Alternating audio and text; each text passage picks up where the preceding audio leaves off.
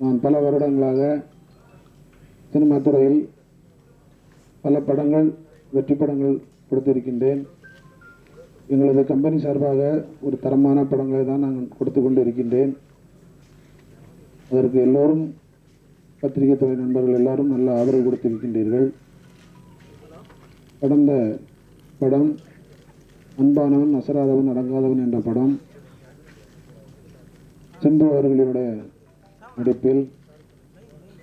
ஆதிக் ரவிச்சந்திரன் அவருடைய இயக்கத்தில் எங்களது கம்பெனிகள் அந்த படம் தயாரித்தோம்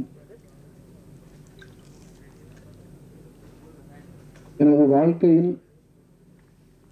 இந்த அளவுக்கு ஒரு துயரம் இல்லாத அளவிற்கு மிகப்பெரிய துயரத்தை எனக்கு கொடுத்து விட்டார் சிம்பு அவர்கள்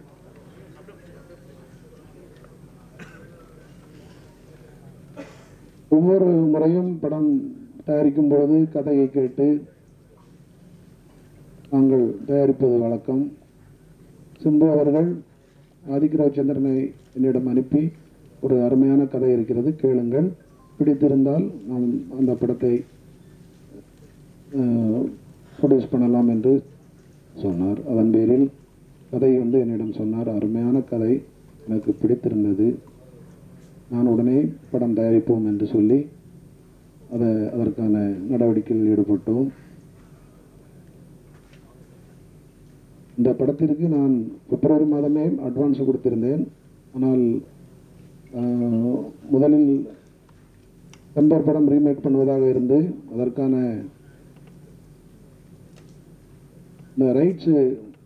வாங்காததினால் நேரடி படமாக ரவிச்சந்திரன் நம்ம ஆதிக்க ரவிச்சந்திரன் அவர்கள் இந்த படத்தை எனக்கு கதை சொல்லி தயாரித்தோம் அட்வான்ஸ் கொடுத்ததுலேருந்து இதற்கு பிறகு எல்லாமே அவர் கையில் எடுத்துக்கொண்டார் முழு அதிகாரத்தையும் அவர் கையிலே வைத்துக் கொண்டார் ஏப்ரல் மாதம் படத்தை ஆரம்பித்து தீபாவளிக்கு வெளியிடலாம் என்பதுதான் அவர் எனக்கு கொடுத்த உத்தரவாதம் நான் அவரை வைத்து படம் தயாரிக்கப் போகிறேன் என்று சொன்ன உடனேயே அதற்கு முன் இதற்கு முன்பால் அவரை வைத்து படம் தயாரித்த தயாரிப்பாளர்கள் பல பேர் என்னிடம் சொன்னார்கள் அவர் ஒழுங்காக படத்திற்கு நடிக்க வரமாட்டார் நீங்கள் வீணாக மாட்டிக்கொள்ளாதீர்கள் என்று என்னிடம் சொன்னார்கள் நான் எல்லோரும் சொல்லையும் மீறி சிம்பு அவர்கள் எனக்கு கொடுத்த வாக்குறுதியை நம்பி துணிச்சலாக ஒரு பெரிய நடிகர் ஒரு மரியாதைக்குரியவர் சினிமா துறையில் கண்டிப்பாக அவர் இந்த அளவுக்கெல்லாம் பொய் சொல்ல மாட்டார் கண்டிப்பாக வேறு ஏதாவது காரணங்கள் இருக்கலாம் அந்த காரணங்கள் இல்லாமல் நாம் எப்பொழுதுமே படம் எடுத்து கொண்டிருக்கின்றோம் எனவே கண்டிப்பாக அவர் நமக்கு ஒத்துழைப்பு தந்து இந்த படத்தை தீபாவளிக்குள் முடித்து அந்த படத்தை வெளியிடுவதற்கு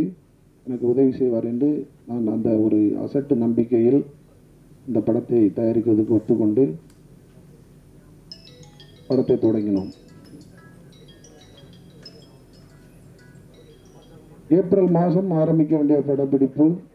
ஜூலை மாதம்தான் ஆரம்பித்தது திண்டுக்கல்லில் ஒரு பதினாறு நாள் ஷூட்டிங் பண்ணார் அங்கேயே பல கஷ்டங்களை கொடுத்தார் அது என்னென்ன கஷ்டங்கள் எப்படிலாம் எங்களுக்கு அவர் தொந்தரவு கொடுத்தார் என்பதை இயக்குனர் அவர்களே உங்களிடம் சொல்வார்கள் அங்கிருந்து வரும்பொழுது பத்து நாட்களுக்குள் மீண்டும் படப்பிடிப்பு தொடங்க வேண்டும் என்று முடிவு செய்து வந்தோம் ஆனால் இரண்டு மூன்று மாதங்களும் ஆகியும் படப்பிடிப்பு தொடங்குவதற்கான அறிகுறியே தெரியவில்லை அப்பொழுதே அவர் என்னை பழிவாங்க வேண்டும் என்று முடிவு செய்தாரா என்பது தெரியவில்லை இல்லை அவரது வழக்கமே அதுதான்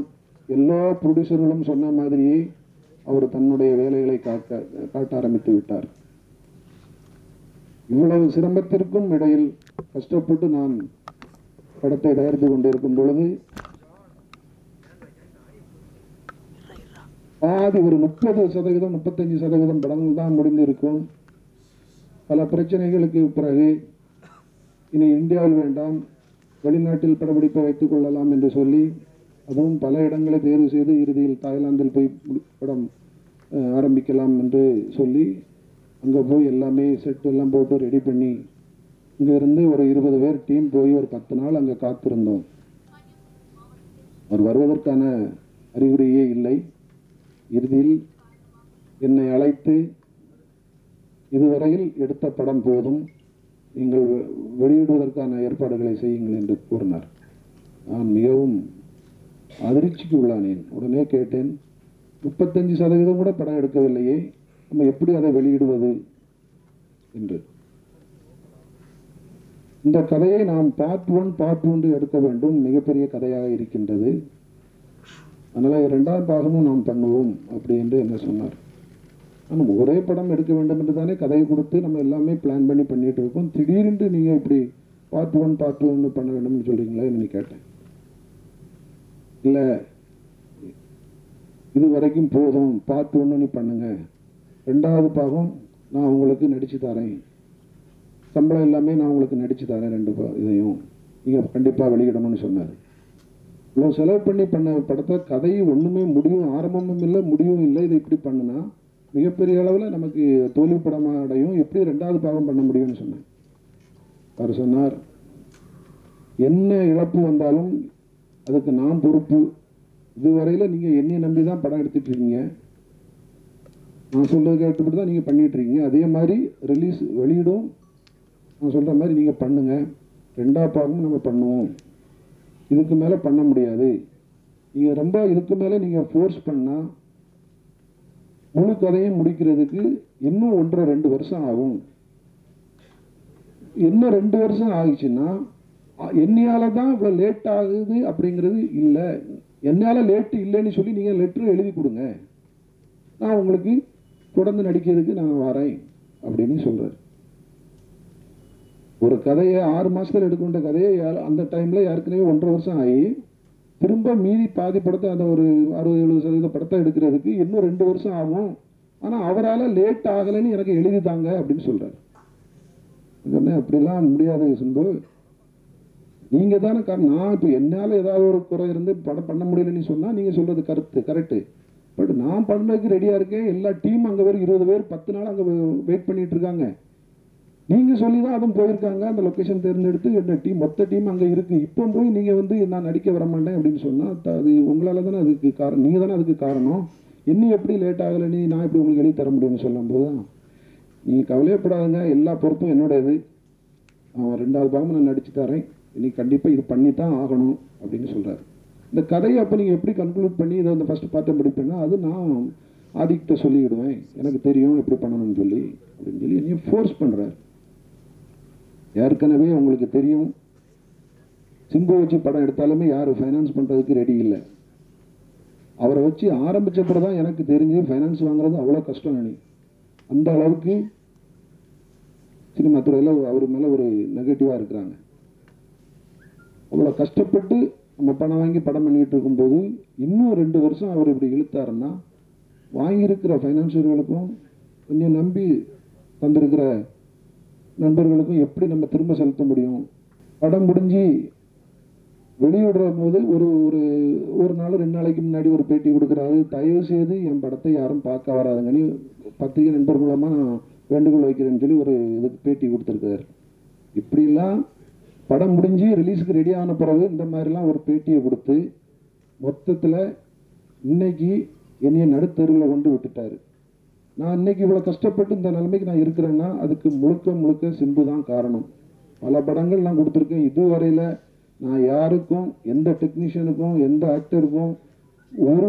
பைசா கூட நான் பேலன்ஸ் வச்சுக்க கிடையாது இந்த படத்தில் நஷ்டங்கள் வந்திருந்தால் கூட நான் எல்லாருக்கும் நான் கிளியர் பண்ணிட்டு தான் நான் படத்தை ரிலீஸ் பண்ணியிருக்கிறேன் அதே மாதிரி இந்த படத்துக்கும் நான் எல்லாருக்கும் கிளியர் பண்ணிட்டு தான் நான் ரிலீஸ் பண்ணேன் அவர் சொன்ன வார்த்தையை நம்பி டிஸ்ட்ரிபியூட்டர்கிட்டெல்லாம் இந்த படத்துக்கு என்ன மதிப்போ அதை விட அதிகமாக என்னையே நம்பி அவங்க பணம் கொடுத்துருக்குறாங்க படம் ஓடலைன்னா என்ன உங்களுக்கு ரீஃபண்ட் வருதோ ஒரு மாதத்துக்குள்ளே நான் திரும்ப தருவேன்னு சொல்லி என் வார்த்தையை நம்பி தான் டிஸ்ட்ரிபியூட்டர்களும் ஃபைனான்சியரும் இன்னைக்கு உதவி பண்ணாங்க இன்னைக்கு சிம்பு சொன்ன வார்த்தையை நம்பி திரும்ப அவர்கிட்ட போய் நான் பேசினதுக்கு அவர் வந்து ஒரு பத்து நாள் என்னுடைய தொடர்பில் இருந்தார் கண்டிப்பாக நம்ம எல்லாம் கிளியர் பண்ணிடுவோம் உங்களுக்கு நான் அடுத்த படமும் பண்ணித்தரேன்னு சொன்னார் திரும்ப பத்து நாளைக்கு பிறகு கொஞ்சம் கொஞ்சமாக கொஞ்சம் கொஞ்சமாக பேச்சு நிப்பாட்டி ஒரு பதினஞ்சு இருபது நாளைக்கு பிறகு ஃபோன் எடுக்கிறதே விட்டுட்டார் ரெண்டு மாதமாக நான் வந்து அவர்கிட்ட ட்ரை பண்ணி அவரை எப்படியா காண்டாக்ட் பண்ணி இதுக்கு ஒரு முடிவு ஏற்படுத்தலாம்னு பார்த்தேன் ஆனால் அதற்கான நடவடிக்கை இல்லை ஆனால் இல்லை சிம்பு நம்பி நான் படம் எடுத்து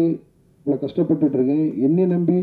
பணம் கொடுத்த டிஸ்ட்ரிபியூட்டர்கள் எல்லாம் என் வார்த்தைக்காண்டி அவங்க எனக்கு பெருமையாக காத்துட்டு இருந்தாங்க வேறு வழி இல்லாதனால தான் நான் போய் நம்ம தயாரிப்பு சங்க தயாரிப்பாளர் சங்கத்தில்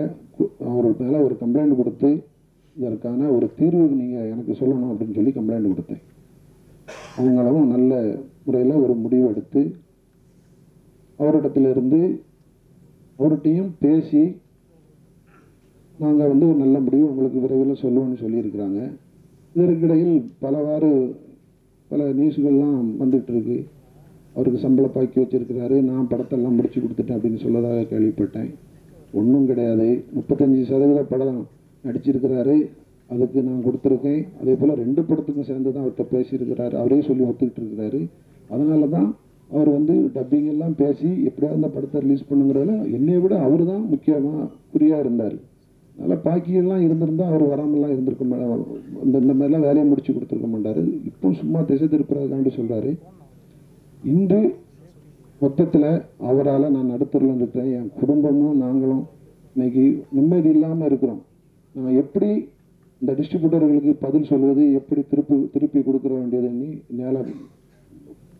ஒரு பதில் இல்லாமல் நான் முழிச்சிட்டு இருக்கேன் என்னோட இருந்த சொத்து வீடு எல்லாமே விற்று கொடுத்தாச்சு என்னால் என்ன கொடுக்க முடியல எல்லாத்துக்கும் அவருக்கு வேணால் வார்த்தையை மாற்றி பேசலாம் ஆனால் நான் வந்து வாக்குறுதி கொடுத்ததை நாங்கள் நிறைவேற்றணும் அதுக்கு வந்து இப்போ வந்து இனி வேற என்ற வேறு வழி கிடையாது அவர் தான் கொடுத்து அந்த இதெல்லாம் செட்டில் பண்ணணும் இதுதான் நான் கோரிக்கையாக வச்சுருக்கேன் கண்டிப்பாக எங்கள் தயாரிப்பாளர் சங்கமும் அவருக்கான நடவடிக்கைகளை ஏற்பட்டு எனக்கு வந்து இந்த பிரச்சனையிலிருந்து அவர்கள் தீர்த்து வைப்பார்கள் என்று நான் முழு மனதோடு நம்பிக்கொண்டு இருக்கிறேன் in and out cinema in out cinema in and out cinema in and out சினிமாக்கு சப்ஸ்கிரைப் பண்ணுங்க சப்ஸ்கிரைப் பண்ணுங்க subscribe to in and out cinema and to support this channel in and out on YouTube subscribe and அந்த bell icon இருக்கும் please press that you will get latest news from this channel